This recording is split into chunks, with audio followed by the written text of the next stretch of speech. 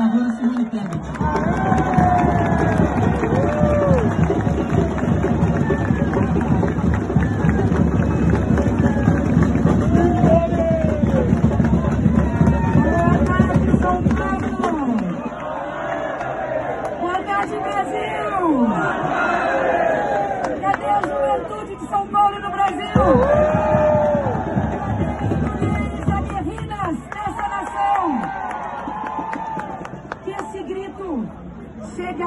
Que esse grito chegue ao nordeste, que esse grito chegue ao sul, que esse grito chegue no meu canal, que seja um grito a favor da liberdade.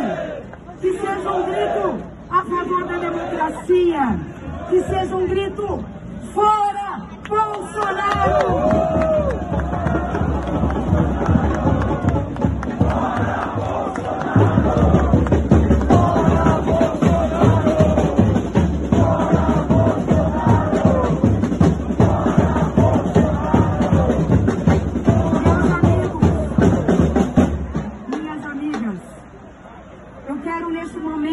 Falar, pedindo desculpa a todos os demais, olhando nos olhos da juventude do Brasil. Este movimento, essa multidão, me lembra muito movimentos do passado. Alguns recentes, nesta mesma avenida, nessas mesmas esquinas, nessas mesmas ruas de São Paulo do Brasil.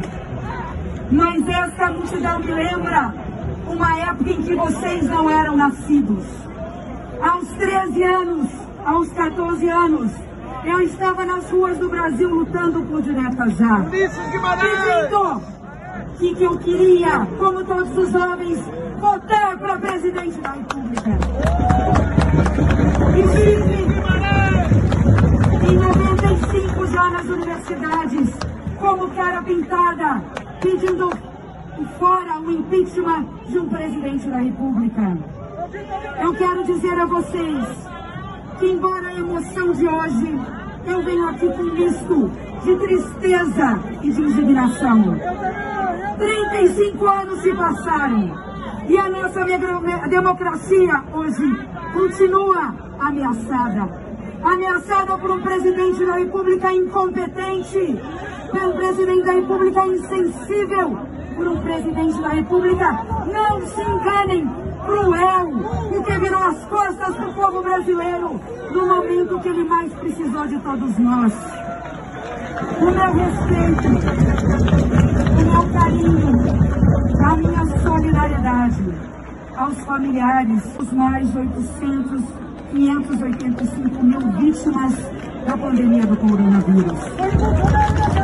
Muitos vão dizer, mas no mundo o coronavírus matou, é verdade. Mas em nenhum país do mundo dizimou famílias inteiras porque teve um presidente que foi incapaz de comprar vacinas no tempo certo. Em nenhum lugar do mundo teve um presidente que em rede social imitou a falta de ar de um paciente de coronavírus e não teve a capacidade de entrar num hospital para abraçar um ente querido. Por isso, eu quero dizer a vocês, não se enganem. O adversário, o inimigo é cruel. Eles querem nos vencer pelo cansaço.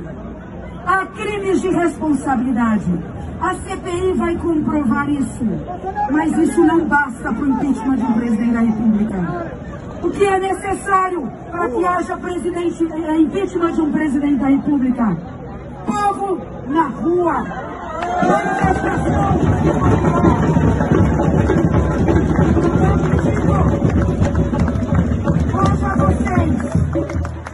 Para podermos destituir um presidente que, por incompetência, cria crises, ele cria inimigos imaginários, ele cria a crise política agora está acabando com o país.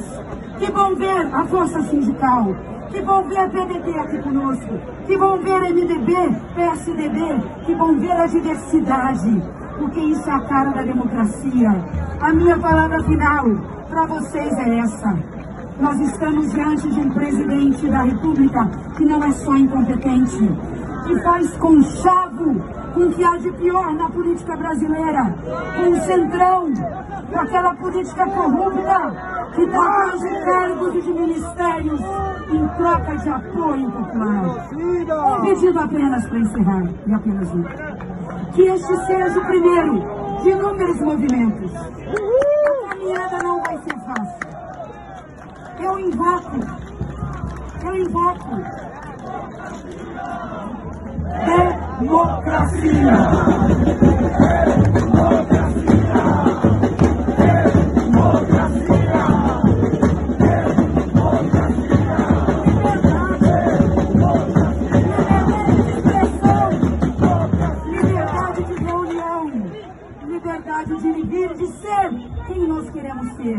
Mas eu quero encerrar, porque temos amigos para falar, invocar aqui a música, a poesia de um cantor que marcou a minha época, Milton Nascimento. Amiga é coisa para se guardar fundo do coração. Que se ele lá atrás, quando nós perdemos muitos amigos para ditadura. Amiga é coisa para se guardar no coração hoje, quando perdemos milhares de amigos. Mas dizia ele, diz a música, todo artista tem que ir onde o povo está. Não é só todo artista, todo político, toda a sociedade civil, a juventude, todos nós, temos que agora nas casas, nos bairros, nas cidades, buscar a população para poder gritar numa só voz. O quê? Bolsonaro!